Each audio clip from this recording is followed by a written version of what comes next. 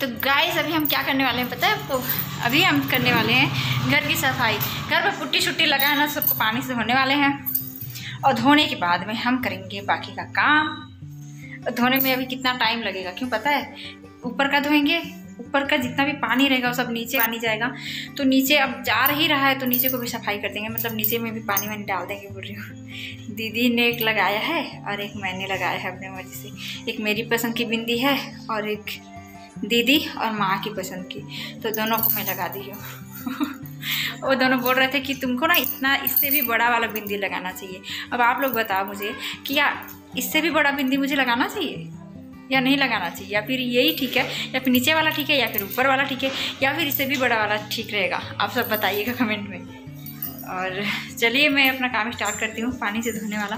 तो ये देखिए, धीरे धीरे पानी आता जाएगा और धीरे धीरे इस रूम को पहले वॉश करूँगी, जहाँ हम सोते हैं, हम सोते हैं मतलब मैं सोते हूँ। दिखाती हूँ आपको, बहुत गंदा हो गया है। ये देखिए फ्रेंड्स इसमें मैं सोती हूँ और यहाँ घाट पे भी बाबू सोया था मेरा बेटा, क्योंकि उसको बिना गद्दे का बिस्तर में सोना पसंद है तो घाट पे सोया था बाबू और उसके पापा के साथ में सोया था और मैं बेड पे सोई थी गद्दे के साथ। और यहाँ पे फर्श पे देखिए कितना गंदगी है। पुट्टी का पूरा सारा जो पाउडर होता है वो सब निकला है। और बाकी की सारी चीज़ें तो यहाँ पे सफ़ाई करना बहुत ज़्यादा ज़रूरी है। ओके तो चलो लग जाते हैं काम पे। बाबू मौसी को बुलाना। देवा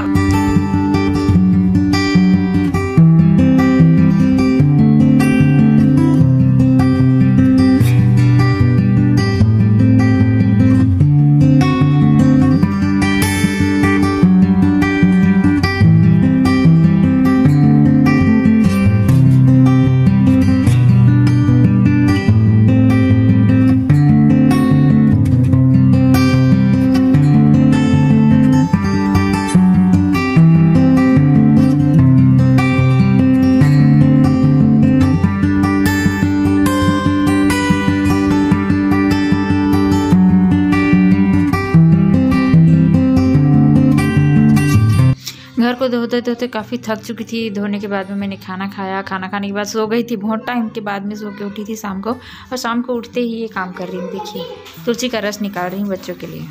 सुबह भी निकाली थी, लेकिन सुबह सूट नहीं कर पाई थी। शाम को भी निकाल रही हूँ। बच्चे काफ़ी खांस रहे हैं ना। बाबू भी खांस रहा है, तन्मय भी खांस रहा है। दोनों बच्चे काफ़ी खांस रहे हैं। और साथ ही साथ मम्मी को भी मतलब मेरी माँ को भी खांसी है, सर्दी हो गया है? तो एक्चुअली अभी करना सबको हो ही रहा है, उसके बाद उसको, उसके बाद उसको। घर में किसी एक को सर्दी हुई है तो दूसरे को भी हो ही जानी है। तो ऐसे ही करते करते सबको एक अखबार हो चुकी है। और मुझे भी आज अजीब सा लग रहा था, लेकिन शाम के टाइम पे ना सर्दी हो ही गई। अभी देखिए कितनी फ्रेश लग रही हूँ ना शाम तक। जब मैं सो के उठी थी, तभी मुझे फील हो गया था कि मुझे सर्दी हो रही है। तो मैं भी थोड़ा सा पीऊँगी इस रस को। तो फ्रेंड्स ये तुलसी का जो रस होता है काफ़ी हेल्पफुल होता है, फ़ायदेमंद होता है ये। बहुत अच्छा होता है। कई लोग क्या करते हैं, चाय में तुलसी का बहुत सारा पत्ते डाल देते हैं और उसके बाद उसको पीते हैं। तो उसमें पानी तो मिला हुआ है ना? तो उससे कहीं ज़्यादा अच्छा ये वाला होता है, जो प्योर रस निकालते हैं हम लोग के तुलसी का रस निकालते हैं। और ये रस को अगर ऐसे ही पीते हैं ना, थोड़ा सा हल्का गुनगुना कर दो या फिर ऐसे ही पी जाओ गर्म ही होता है।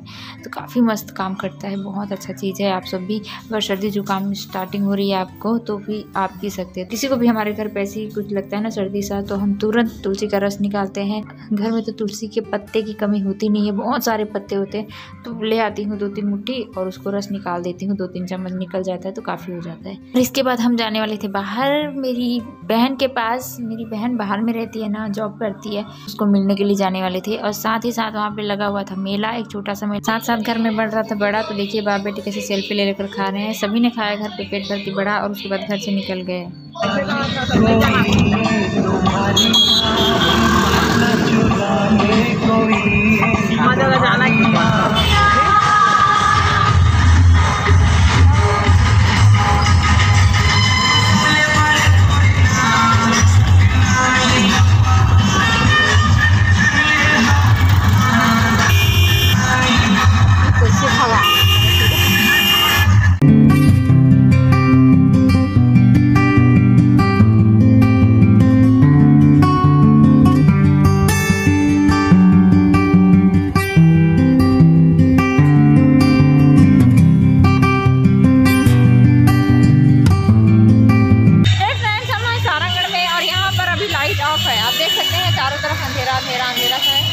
और ये मेन रोड है मतलब अगर रोड है ना, वहाँ का मेन रोड है और इसके जस्ट सामने में मेला लगा हुआ है कहीं पे जा रहे हैं। और उसी के लिए स्पेशली आए हैं गाइस कल चले जाएँगे तो सोचे कि आज रोड क्रॉस कर रहे हैं कि ना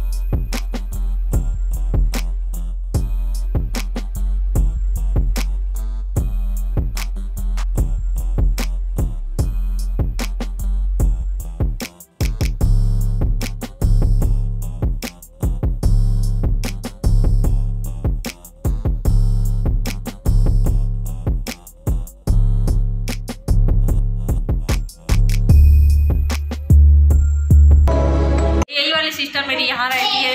नर्स है ये मैडम यहाँ पे ये क्या नाम है? कृष्णा, राधा कृष्ण हॉस्पिटल है ना? वहीं पे काम करती है। वहीं पे नर्स है।